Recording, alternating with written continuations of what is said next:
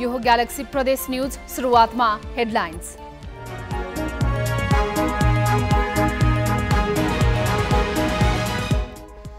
आराध्य देव शिवको पूजा आराधना गरी महाशिवरात्रि पर्व मनाइँदै शिवपुरी धाम दाङको पाण्डवेश्वर सहित देशभरका शिवालयमा भक्तजनको घुइँचो।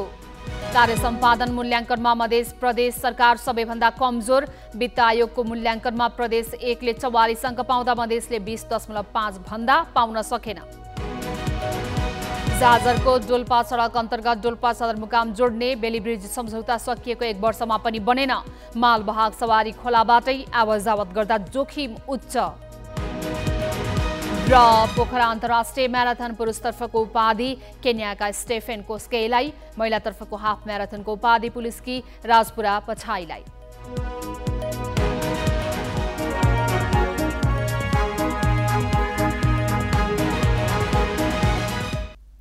अब प्रदेश न्युज विस्तारमा।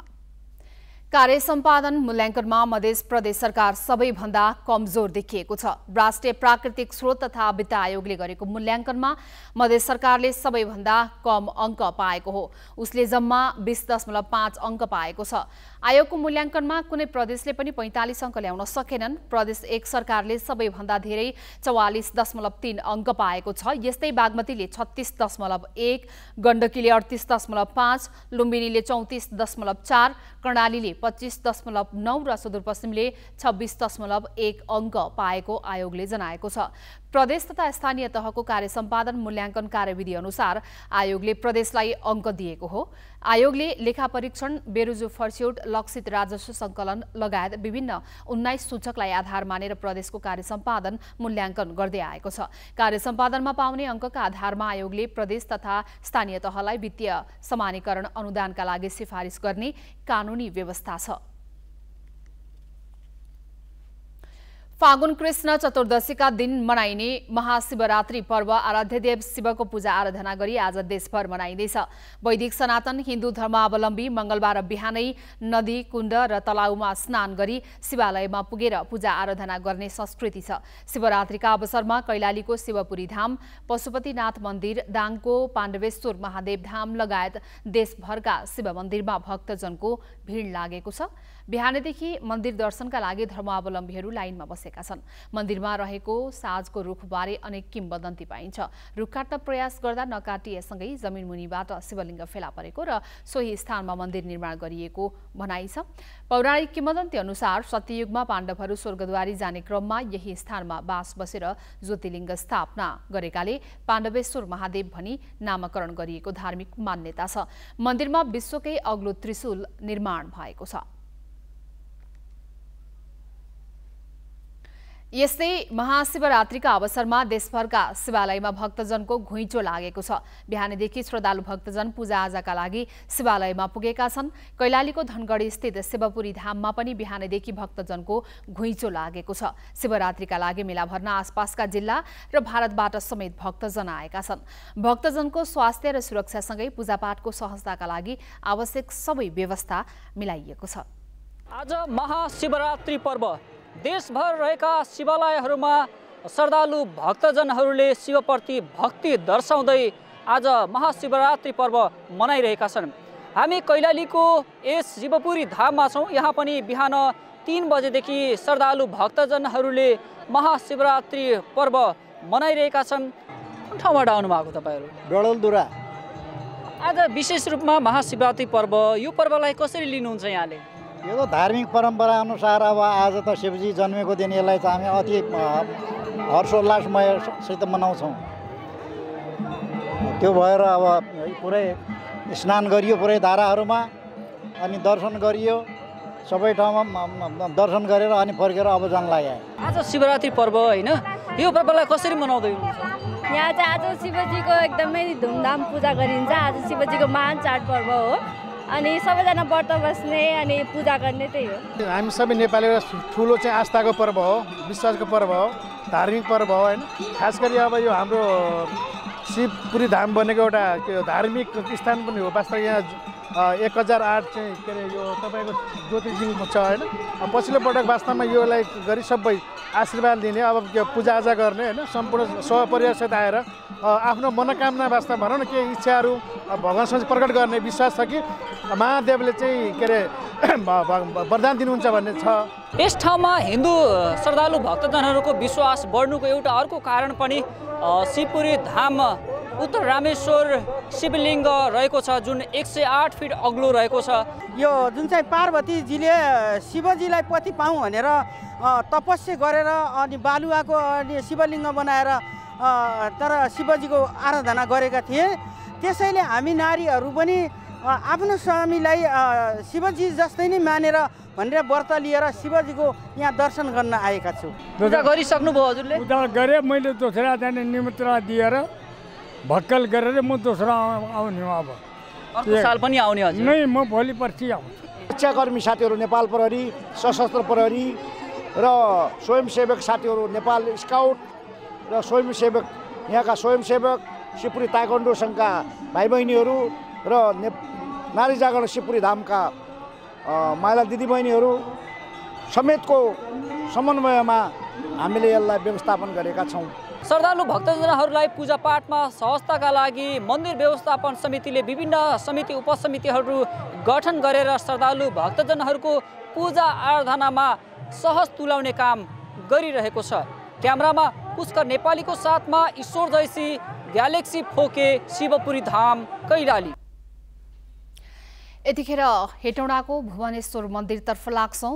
देवराज पन्त हामीसँग हुनुहुन्छ। देवराजजी साँझको बेला भइसकेको छ। अझै पनि श्रद्धालु भक्तजनहरूको घुइँचो उत्तिकै छ। कस्तो छ त्यहाँ?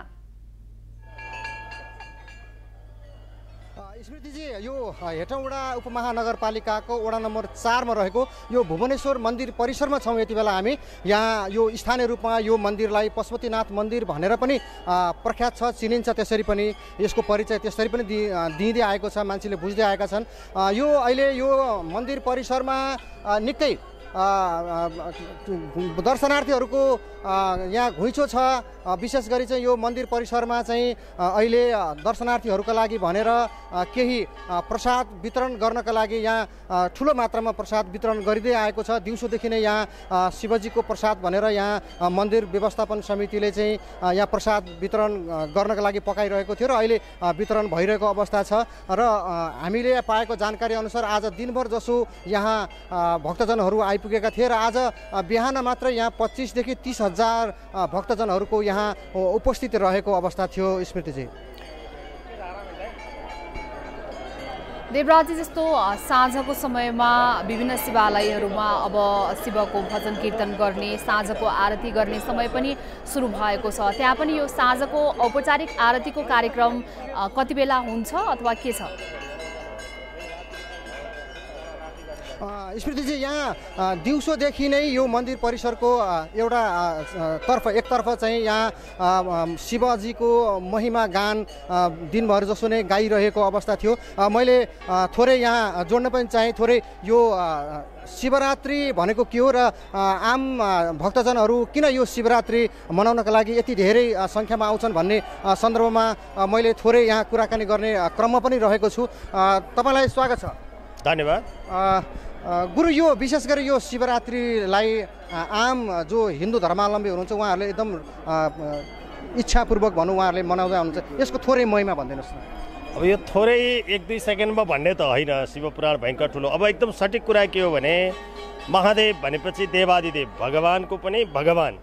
अब विशेषतः हामीले ब्रह्मा विष्णु महेश्वर विशेष हाम्रो उसमा त्रिगुण त्रिनेत्र त्रिजन्म त्रिदेव यहाँ एकदम धेरै जोडिएर रहन्छ। र यो स्टार्टिङ चाहिँ कहाँबाट भयो भन्दा भगवान् नारायण र भगवान् ब्रह्माजी दुईजनाले माने एक दिन चाहिँ एउटा माने घमण्ड लिएर गएर घमण्ड चुर भइसकेपछि ज्योतिर्लिङ्गको पूजा गरेर सुरु गरेको दिन शिवरात्रि। त्यहाँबाट यो चाहिँ शुभारम्भ भयो शिवरात्रिको आरम्भ भयो। यसमा जाग्रत स्वप्न सुसुप्ति सत्व रज तम तिनवटा गुण तिनवटा अवस्था होइन तिनवटा जन्म अथवा तिनवटा बाल प्रौढ यो यौवन बाल यौवन प्रौढ अवस्था। यो हरेक कुराको यो चाहिँ समायोजन र हाम्रो विशेषतः हामी पूर्वीय दर्शनका विद्यार्थीहरू अथवा हिन्दू धर्मावलम्बीहरूका लागि सबभन्दा माने श्रेष्ठ भगवान् शङ्कर। भगवान् शङ्करलाई आजको दिनमा ज्योतिर्लिङ्गमा गङ्गाजीको जल र बेलपत्र अर्पण गर्नुमा अघि पछिको तुलनामा हजारौँ गुणा बढी चाहिँ शङ्करजी छिटो प्रसन्न हुने र शङ्कर समीप जान पाउने शिवलोक प्राप्त गर्न सक्ने त्यो जुन चाहिँ धार्मिक मान्यता छ शिवपुराणमा त्यसको आधारमा हामी हिन्दू धर्मावलम्बीहरू चाहिँ आजको दिन बिहानदेखि आफ्नो चाहिँ शरीरको अवस्था अनुसारको व्रत बसेर भगवान् शङ्करको दर्शन गर्छौँ चारै प्रहरमा रुद्राभिषेक गर्छौँ बिल्लपर बिल्वपत्र अर्पण गर्छौँ यो शिवको महिमा हो। मैले अब अन्तमा जस्तो आज शिवरात्रि रात्रि भनेपछि त रात हो। यसको महत्त्व थोरै भनिदिनुहोस्। रात्रि भने कस्तो भने अघि पछिको पूजाहरू दिउँसो नै सकिन्छ। जस्तै दिनमा चारवटा प्रहर रातमा चारवटा प्रहर आठवटा प्रहर हाम्रोमा चौबिस घन्टामा हुन्छ। हरेक प्रहरमा एक एक रुद्राभिषेक एक आवृत्ति रुद्री पढेर त्यहाँ फेरि भगवान् शङ्करलाई एकचोटि पूजा गरेर चारै चारैवटा चाहिँ नि दिशा चारैवटा मुख चारैवटा वेद भने मानेलाई प्रतिनिधित्व गरेर बेलपत्र र चाहिँ जल जल त रुद्राभिषेकै गरिरहने र फेरि बेलपत्र हरेक प्रहरमा चढाउने रातभरि जागराम रहनुपर्ने भएको भएर शिवरात्रि भनेको हस् धेरै धेरै धन्यवाद। धन्यवाद। यसरी यो शिवरात्रिको महिमाका विषयमा हामीले थोरै कुराकानी पनि गऱ्यौँ। उहाँ ज्योतिष पनि हुनुहुन्छ केशव प्रसाद धिताल हुनुहुन्छ।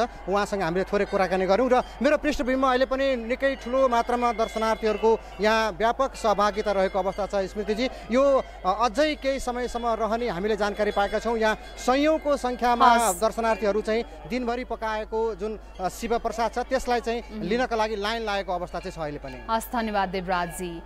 हेटौँडाको भुवनेश्वर मन्दिर परिसरबाट सहकर्मी देवराज पन्त। आज बिहानैदेखि देवादिदेव महादेवको भजन कीर्तन पूजा आराधना र आरती गर्दै महाशिवरात्रि पर्व देशभरका शिवालयमा मनाइँदैछ। यसबारे विस्तृत जानकारी गराउँदै अब बाँकी न्युज। कर्णाली चिन्ह र चिनाउने उद्देश्यले सुर्खेतको वीरेन्द्रनगरमा शुक्रबारबाट सुरु कर्णाली उत्सवमा आज विभिन्न सात सत्रमा छलफल भएको छ। कर्णालीलाई आर्थिक सामाजिक सांस्कृतिक र पर्यटकीय क्षेत्रमा समृद्ध बनाउने उद्देश्यले सुरु भएको उत्सवमा विभिन्न सात विधामा बहस भएको छ। राजनैतिक व्यक्तित्व साहित्यकार कलाकार लेखक पत्रकार बुद्धिजीवी सहभागी उत्सवमा आज दलित र दलिल भोग र भोजन रेडियोको रस पैकेलो संहिताको पाँच वर्षको उपलब्धि लगायतका विषयमा विज्ञबीच छलफल भएको छ। यस्तै कर्णाली नदी र प्रणाली हिरा बिजुली लगायतका सम्भावना बोकेका क्षेत्रमा पनि बहस मार्फत सम्भावनाको खोजी गरिएको छ। उत्सवमा प्रतिनिधि सभा सदस्य छविलाल विश्वकर्मा पूर्व सचिव मानबहादुर विक कर्णाली प्रदेशका कृषि मन्त्री भीमप्रसाद शर्मा खाद्य सुरक्षाविद यमुना घले लगायतको सहभागिता थियो। नेकपा एमालेका सचिव योगेश भट्टराईले एमाले प्रस्ताव गरेकै व्यक्ति राष्ट्रपतिको उम्मेद्वार हुने दावी गरेका छन्। वीरेन्द्रनगरमा प्रेस चौतारी नेपालले आयोजना गरेको पत्रकार सम्मेलनमा नेता भट्टराईले सरकार गठनका बेला प्रधानमन्त्री पुष्पकमल दाहालले नै राष्ट्रपति एमालेलाई दिने सहमति गरेर प्रधानमन्त्री बनाएकोले धोका नहुने विश्वास व्यक्त गरे। प्रचण्ड कमरेडलाई चाहिँ हामीले तानेको त होइन। उहाँ हामीलाई खोज्दै आउनुभएको खोज्दै आउँदा ठिक छ त्यसो सँगै जाउँ भन्दा उहाँले नै प्रस्ताव के गर्नुभयो भने पाँच वर्षमा आधा आधा गरौँ त्यो हाम्रो प्रस्ताव होइन उहाँको प्रस्ताव हो तर राष्ट्रपति एमालेको हुन्छ भन्ने कुरा त्यो हामीले भने होइन उहाँसँग हामीले मागेको होइन त्यो उहाँले भने हो त्यस आज माओवादीले दिन्छ भने हामी माग्नै गएको छैनौँ उहाँ आफै दिन आउनुभएको नेता भट्टराईले चुनावी गठबन्धन एमालेको कारण नभएर नेपाली काङ्ग्रेसका कारण टुटेको बताउँदै एमाले माओवादी बीच भएको समझदारीबाट अहिलेकै सत्ता गठबन्धन कायम रहँदै राष्ट्रपति एमालेकै व्यक्ति बन्ने ठोकुवा गरे। जाजरको डोल्पा सडक खण्ड अन्तर्गत डोल्पा सदरमुकाम जोड्ने बेली ब्रिज अलपत्र परेको छ। रूपगाँड खोलामा निर्माणाधीन पुल ठेकेदारले सम्झौता अवधि गुज्रिएको एक वर्षसम्म निर्माण गरेको छैन। पुल नहुँदा मालवाहक सवारी खोलाबाटै आवजावत गर्छन्। सडक डिभिजन कार्यालय चौरजहारीले इको इन्फ्रा बिल्डर्स प्रणालीलाई ललितपुरबाट निर्माणको जिम्मा दिएको छ। दुई हजार सतहत्तर साल पुसमा दुई करोड एकतिस लाख रुपियाँमा पुल निर्माणका लागि ठेक्का लिएको इको इन्फ्रा बिल्डर्स प्राली ललितपुरले दुई हजार अठहत्तर साल असोजमा निर्माण सम्पन्न गर्नुपर्ने थियो तर काम नसकिएको भन्दै दुई हजार अठहत्तर साल चैतसम्म समय थपियो। थपिएको समय गुज्रिएको एक वर्ष पुग्नै लाग्दा समेत पुलले आकार पाउन सकेन। थपेको समयभन्दा झन्डै एक वर्ष ढिला गरी निर्माण कम्पनीले करपगाड हादङ र त्रिपुराकोट भेरी नदीमा पुल निर्माण गर्यो। तर रूपगाडको बेली निर्माण अलपत्र हुँदा शास्ति भोग्नु परेको चालक बताउँछन्। गाडी स्टाफहरू एकदमै दुखी छ यो बाटो यहाँ मात्र होइन। यो बाटो लगभग लगभग भनौँ न जाजरबाट आधा भागबाट लगभग दुनै सदरमुखमा पुग्नेसम्मलाई तनावै तनाव छ। हो किन बाटो त लास्टै समस्या नै छ नि त। अब यहाँ हेर्ने भनेको अब जस्तै हेर्नु यहाँ अगाडि नै त सदरमुकाम छ। चारमध्ये तिनवटा मात्र पुल निर्माण गरेको निर्माण कम्पनीले पुल रकमको छैसाठी प्रतिशत भुक्तानी पाइसकेको सडक डिभिजन कार्यालयले पुष्टि गरेको छ। पुल निर्माणको कार्य तत्काल सुरु गर्न पत्रचार गरिसकिएको र ठेकदारले एक हप्ताभित्र काम अघि बढाउने बताएको कार्यालय प्रमुख आशुतोष कर्णको दावी छ। रूपगाड खोलामा मालवाहक ट्रक फस्ने समस्या रहेकाले डोजर र अन्य साधनको सहयोग लिनुपर्ने चालकको गुनासो छ। जिप तथा मोटरसाइकलका लागि भने नगरपालिकाले काठको पुल तयार गरेको छ। निर्माणको गति सुस्त भएकोमा स्थानीय चिन्तित छन्। यहाँको प्रशासनले पनि यो आएर अनुगमन गरेर पनि हेर्नुपर्छ नि त। हामीले बारम्बार गएर त्यहाँ भनिरहेछौँ यस्तो भइरहेछ यो ठाउँमा भनेर। प्रशासन पनि मौन भएर बस्ने विषय होइन नि त यो अब राज्यको यत्रो पैसा यत्रो फसिरहेछ दुई दुई वर्ष भइसक्यो यो पिलरै लगभग काम नलाग्ने भइसक्यो। हामी यहाँ स्थानीयले एकदम बारम्बार जहिले हेर्ने अब यही पिलर नै हो। अब त्यो दुईवटा पिलर मात्रै उठाएर राखेको छ अनि ठेकदारहरूले चाहिँ त्यो माथिबाट चाहिँ ट्रसहरू फिट गर्ने काम कुनै पनि भएको छैन। त्यसले गर्दाखेरि पुरै गाडीवालालाई अनि त्यो सानो गाडीमा हिँड्ने पेसेन्जरहरूलाई एकदमै असर परिरहेको छ। अनि यतापट्टि एउटा सानो काठको पुल छ यो खोलामा त्यो काठको पुल पनि अहिले जाने हो कि भरे जाने हो त्यो ठेगानै छैन। पुल निर्माणको क्रममा मजदुरी गरेको ज्याला समेत स्थानीयले पाएका छैनन्। पुलको फिल्ड स्तरमा काम गर्न ठेकदार कम्पनीले सहायक कम्पनीको सहायता लियो। तर ठेकदारले पैसा नदिएपछि पुलतर्फ चासो नदिएको सहायक कम्पनी रेट्रोटेक डिजाइन एन्ड बिल्डरको जिकिर छ। अगाडि चाहिने स्ट्रक्चरहरू जस्तै सिभिल वर्क्स अन्तर्गत पर्ने कामहरू हामीहरूको अन्तर्गत थियो। त्यसपछि हाम्रो काम चाहिँ सम्पूर्ण कम्प्लिट भएको र मुख्य ठेकेदारले चाहिँ बिलको भुक्तानी लिएर अहिलेसम्म चाहिँ अब हामीहरूलाई पैसा नदिएको अवस्था। त्यसले गर्दा नै हामीले काममा चाहिँ अलिकति बाधा अट्काउ गरेकै नै हो। किनभने हामीले अब हाम्रो लगानी यताउता फसेको हुनाले हामीले त्यसमा चाहिँ अलि अवरोध गरेको ठेकदारसँग रेट्रोटेकले एक करोड बिस लाखमा त्रिपुराकोट भेरी र रूपगाड खोलाको पुल निर्माणको लागि सम्झौता गरेको थियो। तर रूपगाड खोलाको पुल निर्माणको सवालमा दुवै कम्पनी मौन छन्। यो सडक भारत र चिनको तिब्बत जोड्ने नेपालको सबैभन्दा छोटो सडक हो। सडक खण्डमा एक दर्जन बढी पुल निर्माण गर्न बाँकी भए पनि यसतर्फ सरकारी निकायको ध्यान पुगेको देखिँदैन। ग्यालेक्सी फोकेका लागि डोल्पाबाट टेकबहादुर साईको रिपोर्ट। जनकपुरमा आजदेखि अन्तर्राष्ट्रिय व्यापार मेला सुरु भएको छ। फागुन चौध गतेसम्म चल्ने मेलामा नेपालसहित भारत बङ्गलादेश पाकिस्तानका एक सय तिसवटा स्टल राखिएका छन्। स्थानीय स्तरका व्यवसायलाई माथि उकास्न एवं व्यापार सम्बन्ध स्थापित गर्नका लागि पहिलोपटक जनकपुरमा मेलाको आयोजना गरिएको जनकपुर धाम उद्योग वाणिज्य सङ्घले जनाएको छ। पैँतालिस लाख रुपियाँको लागतमा आयोजना गरिएको मेलामा गार्मेन्टका उत्पादित सामग्रीहरू लेदरका सामान मिथिला पेन्टिङ स्वदेशी काठका विभिन्न सामग्री सहित मुलुकभरमै विभिन्न उद्योग तथा कल कारखानाका उत्पादन भएका सामग्रीको स्टलहरू राखिएका छन्। मिथिलाको कला संस्कृतिसहित मौलिकता झल्कने सामग्री समेत प्रदर्शनीमा राखिएको छ। सत्रौं सफल पोखरा अन्तर्राष्ट्रिय म्याराथन पुरुषतर्फको उपाधि केन्याका स्टेफेन केस्कैले जितेका छन्। आज पोखरा रङ्गशालाबाट सुरु भएको बयालिस दशमलव एक नौ किलोमिटर दूरी दुई घण्टा बिस मिनट सात सेकेन्डमा पुरा गरेर कोस्गेईले उपाधि जितेका हुन्। दोस्रो स्थान पनि केन्याकै धावक जलियस ओहमेले जितेका छन्। उनले दुई घण्टा बिस मिनट सैतिस सेकेन्डमा निर्धारित दूरी पार गरेका हुन्। नेपाल आर्मीका होमलाल श्रेष्ठले दुई घण्टा पच्चिस मिनट चौध सेकेन्डमा उक्त दूरी पार गरी तेस्रो भएका छन्। महिलातर्फको हाफ म्याराथनमा नेपाल पुलिसकी राजपुरा बछाई पहिलो भएकी छन्। उनले एक्काइस किलोमिटर दूरी एक घन्टा एक्काइस मिनट एघार सेकेन्डमा पुरा गरिन्। एपिएफकी वृन्दा श्रेष्ठ दोस्रो भएकी छिन्। उनले एक घन्टा छब्बिस मिनट अठाइस सेकेन्डमा निर्धारित दूरी पार गरेकी हुन्। पुरुषतर्फ पहिलो हुनेले पाँच लाख दोस्रो हुनेले तिन लाख तेस्रो हुनेले दुई लाख रुपियाँ पाएका छन्। यस्तै महिलातर्फ पहिलो हुनेले एक लाख पचास हजार दोस्रो हुनेले एक लाख तेस्रो हुनेले पचहत्तर हजार रुपियाँ पुरस्कार पाएका छन्। हामी ग्यालेक्सी प्रदेश न्युजको अन्त्यमा छौँ। जाँदा जाँदै हेडलाइन्स।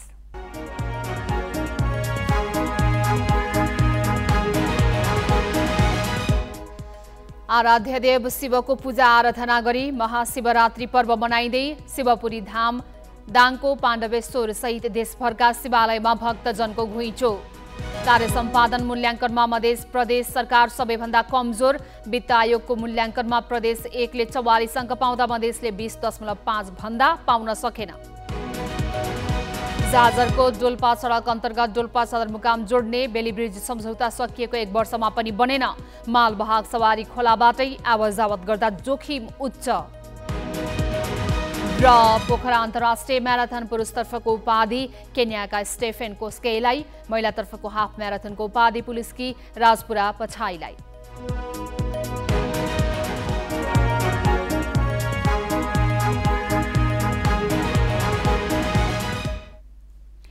ग्यालेक्सी प्रदेश न्युज अहिलेलाई सकियो राति आठ बजे। ग्यालेक्सी न्युज आवर लिएर आउनेछौँ।